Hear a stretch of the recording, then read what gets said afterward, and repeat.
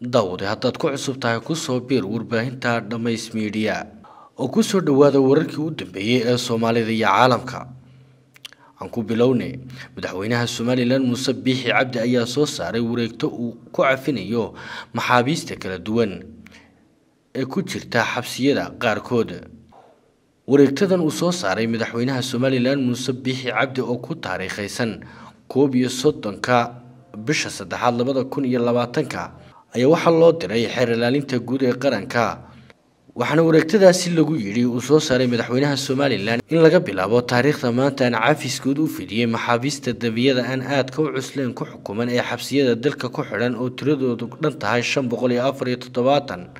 maxbuus cafiskani saameyn kuma laha xuquuqda madaniga iyo raadka ciqaabeed ee ka dhalanaysa dembiyada ay ku xukumnaayeen ee ku xusan qodobka labiyo sagaashanaad ee xeerka ciqaabta guud. Waxaana cafiskan fulinaya xafiiska xeerilaaliyaha guud ee qaranka iyadoo la raacayana liiska maxaabiista iyo shuruudaha wareegtadani ku lifaaqan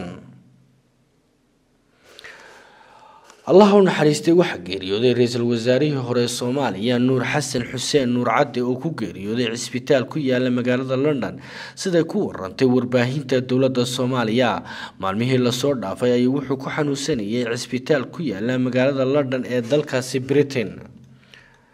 wiil uu dhalay nuur cadde oo lagu magacaabo xaaji maxamed nuur cadde oo la hadlay laanta afka soomaaliga ee b b c da ayaa dhowaan xaqiijiyay in aabihii uu ku jiro cisbitaal ku yaalla magaalada london halkaasina lagu dabiibayo kadib markii sida uu sheegay uu ku dhacay cudurka covid nneteen allah u naxariistay maanta ayaa ku geeriyooday cisbitaalkaasi uu ku jiray nuur xasan xuseen nuur cadde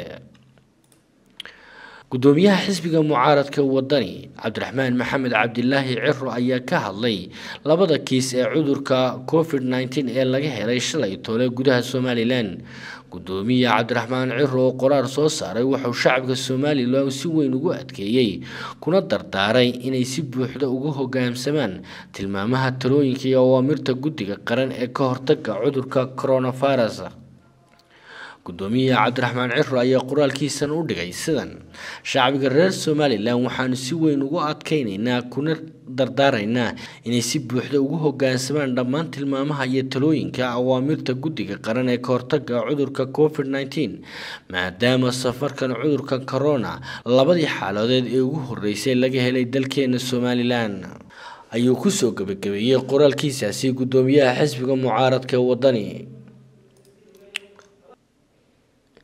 boqortooyada sacuudi carabiya ayaa ka codsatay dhammaan muslimiinta ku nool daafaha dunida inay dulqaad muujiyaan islamarkaana ay dib u dhigtaan qorshahooda xajka iyo cumrada ee sanadkan wasaaradda xajka iyo cumrada ee sacuudiga ayaa bayaan ay soo saartay ku sheegtay in corona awgii ay tahay in muslimiinta ay dib u dhigtaan qorshahooda xajka. Wasiirka arrimaha xajka iyo cumrada doctor maxamed saalax ayaa sheegay in sacuudigu ay mar walba diyaar u yihiin inay qaabilaan islamarkaana u adeegaan xujayda balse iminka mudnaanta la siinayo badqabka qof walba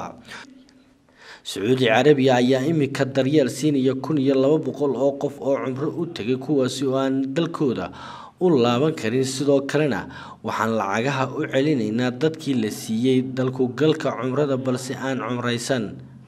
Doctor maxamed ayaa sidaasi u sheegay telefishinka al akhbaariya xukuumadda sacuudiga ayaa hore u joojisay in lagu dawaafo xajarul aswadka iyadoo laga cabsi qabo faafidda caabuqa corona xajka ayaa ka mid ah shanta tiir ee islaamka islamarkaasina qof walba oo muslin ah laga rabo oo dhaqaale ahaan awooda inuu hal mar soo xajiyo. Fadlan haddaad ku cusub tahay sabskraib saar warbaahinta dhammays miidiya like iyo commentna nodhof mahadsanidin